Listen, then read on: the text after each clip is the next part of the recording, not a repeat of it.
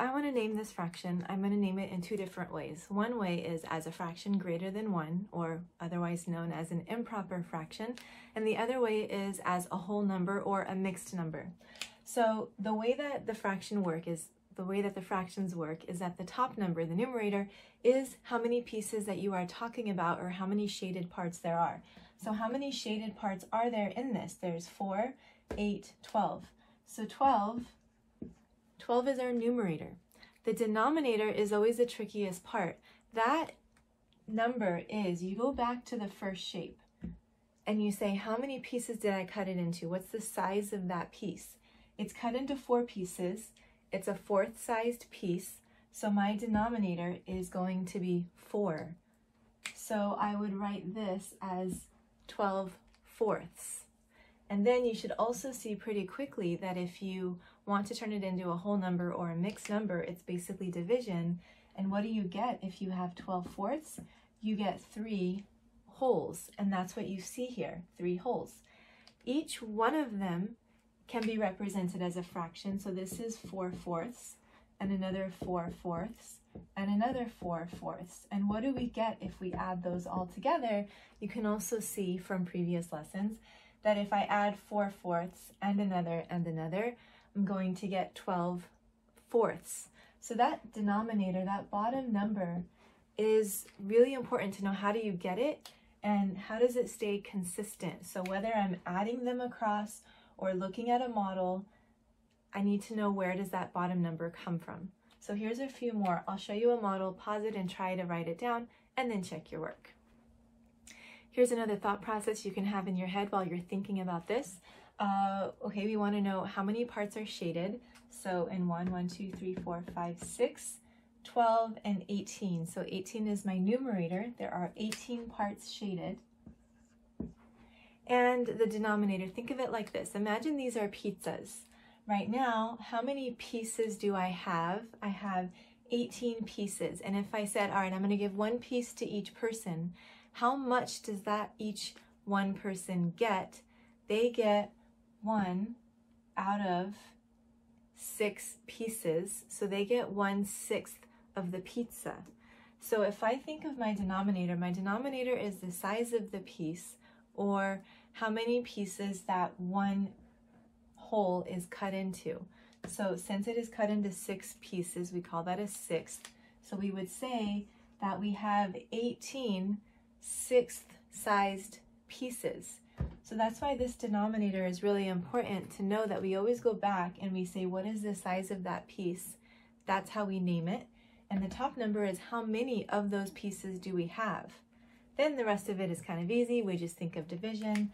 16 divided by, uh, 18 divided by 6 will be 3, and that is my three wholes. If I were to take away some of these, so let's say I take away just one of them, I still have the same thought process, how many pieces do I have that are shaded?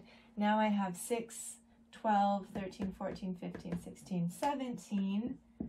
And still, if I gave out one piece to each person, they would be getting the same size piece. So I would name my denominator by the name of that piece, which is still a sixth sized piece. So it would be 17 sixths. And you would think of it as, I have 17 of these, but what's the size of that piece? It's a sixth sized piece. You should start saying these phrases in your mind as you're solving it because you're teaching yourself a thought process. So the more times you say it or think it, the easier time you're going to have every time you get to a new problem. Your mind is already working for you. So say it to yourself. How many parts are shaded? That's my numerator. How many parts are shaded? Three, six, nine. So my numerator is nine parts. Top number is what we're talking about. The bottom number is the size of the part or how is it cut up. So I go back to one of them. It's cut into three pieces, so it's a third sized part. So my denominator is going to be 3. I can check this really easily because if I divide it, what do I get if I divide 9 divided by 3? I get 3, and that is the number of wholes that I have. You can think of it also as this. This is one whole. It's 3 thirds. That's one whole. And another 3 thirds. That's another whole.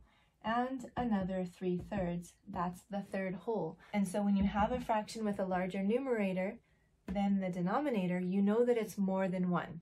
Okay, there's two questions for this one. For the shaded part, I look at all the shaded parts. How many are there? There's 4, 8, 12, 13. So 13 will be my numerator. My denominator is the size of the part. So I go back and I say, what is that cut up into? It's cut up into fourths. So my denominator is a fourth. So two strategies. I either know I have four fourths up here, four fourths up there, and my leftover amount, which is one fourth. So if I add all of those together to get a mixed number, what will I get? There's one whole, two whole, three wholes, so there's three wholes. And what's my leftover? One fourth. So then now I want to know, just as an unrelated separate question, what is the part that is unshaded? How do I name that? In that case, I go over here. How many parts are unshaded? There's three parts that are unshaded. So that becomes my numerator. Don't need this anymore. And for my denominator, what's my denominator? So it still matters what is the size of each piece. It's still a fourth sized piece. so my denominator is going to be 4. Okay. So no matter what, whether you're talking about the shaded part or the unshaded part, the size of the piece, the denominator is going to stay the same because we didn't change how we cut it. We're only changing whether we're talking about a shaded part or an unshaded part. How many parts are shaded? 8, 9, 10, 11, 12. So 12 are shaded. And what's the size of the part? It's still 8. So my improper fraction or my fraction greater than 1 is going to be 12 eighths. If I turn that into a mixed number, the model makes it super easy because how many wholes do I have? I have one whole. And what's my leftover fraction? It's one, two, three, four. Four out of, the denominator is still the size of the piece, so it's one and four eighths. Here's where you can see how to reduce it. Why do we sometimes say, or actually a lot of the times, we say, let's reduce this to one and one half. How, how can we visualize that? Well, if I did this, if I darkened this line so that I would see that, hmm, there's four that are shaded and four that are unshaded.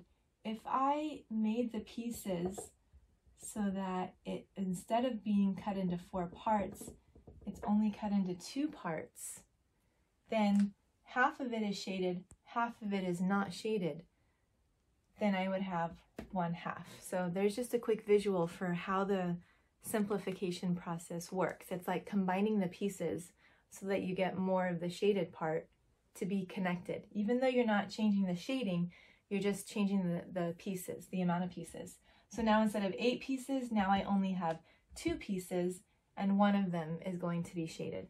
As a fraction, I say how many parts are shaded? Four.